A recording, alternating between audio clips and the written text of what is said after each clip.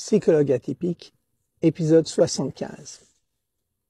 Si on se laisse aller à notre autisme, est-ce qu'on va disparaître, submergé dans la bulle de l'autisme?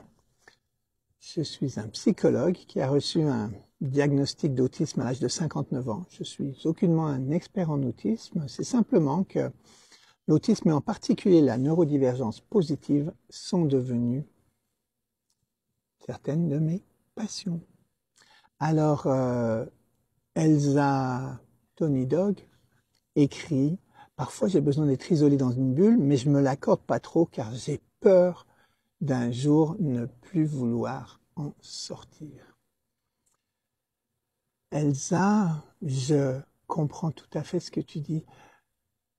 Pour ma part, j'avais plutôt ce sentiment-là avant de reconnaître mon autisme mais évidemment, euh, l'autisme, c'est euh, un fonctionnement différent, mais c'est aussi très largement une construction sociale, c'est-à-dire euh, on a des images de ce que c'est l'autisme. Moi-même, jusqu'à ce que ma psychothérapeute suggère que je pouvais être autiste, pour moi, venant de France, l'autisme, c'était vraiment l'autiste qui communique pas, qui se frappe la tête contre les murs, qui est pas capable de aller à la toilette tout seul, les choses comme ça extrêmement caricaturales. Hein.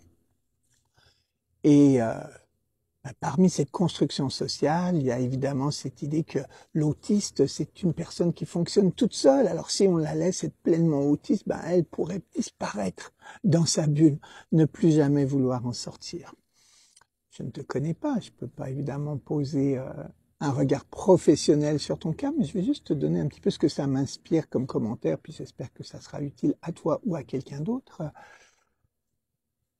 Ça fait tellement longtemps, tellement longtemps, tellement longtemps que la plupart d'entre nous essayent d'agir comme les autres, essayent de se fondre dans la masse, que on regarde les manifestations de notre fonctionnement spécifique, notamment ce besoin, cette nécessité de recharger nos batteries dans notre coin, dans nos termes, à faire les choses qui parlent à nous ou même ne rien faire, nous apparaissent comme des dangers. Des dangers qu'on doit combattre parce que si on ne les combattait pas, ils risqueraient de nous submerger, ils risqueraient d'engloutir tout ce château de cartes de normalité qu'on a construit et qu'on doit surveiller à chaque instant. C'est encore plus présent, je pense, chez les autistes femmes diagnostiqué à l'âge adulte. Donc, euh, Elsa, je pense pas que tu risques de plus vouloir sortir de ta bulle. Au contraire, tu en sortiras sur tes termes. Et c'est une chose dont on va parler demain dans l'épisode Psychologue atypique sur la chaîne Vos valeurs en action sur YouTube.